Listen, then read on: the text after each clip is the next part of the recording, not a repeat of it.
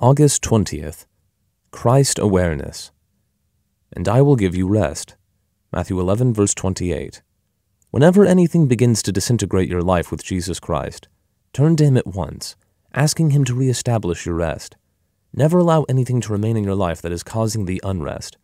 Think of every detail of your life that is causing the disintegration as something to fight against, not as something you should allow to remain. Ask the Lord to put awareness of Himself in you, and your self awareness will disappear. Then He will be your all in all. Beware of allowing your self awareness to continue, because slowly but surely it will awaken self pity, and self pity is satanic. Don't allow yourself to say, Well, they have just misunderstood me, and this is something over which they should be apologizing to me. I'm sure I must have this cleared up with them already.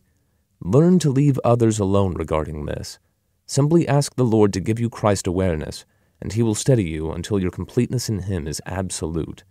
A complete life is the life of a child. When I am fully conscious of my awareness of Christ, there is something wrong. It is the sick person who really knows what health is. A child of God is not aware of the will of God because he is the will of God. When we have deviated even slightly from the will of God, we begin to ask, Lord, what is your will?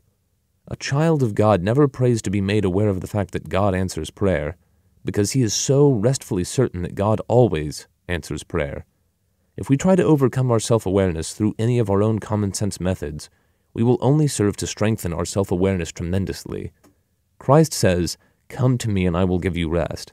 That is, Christ awareness will completely take the place of self awareness.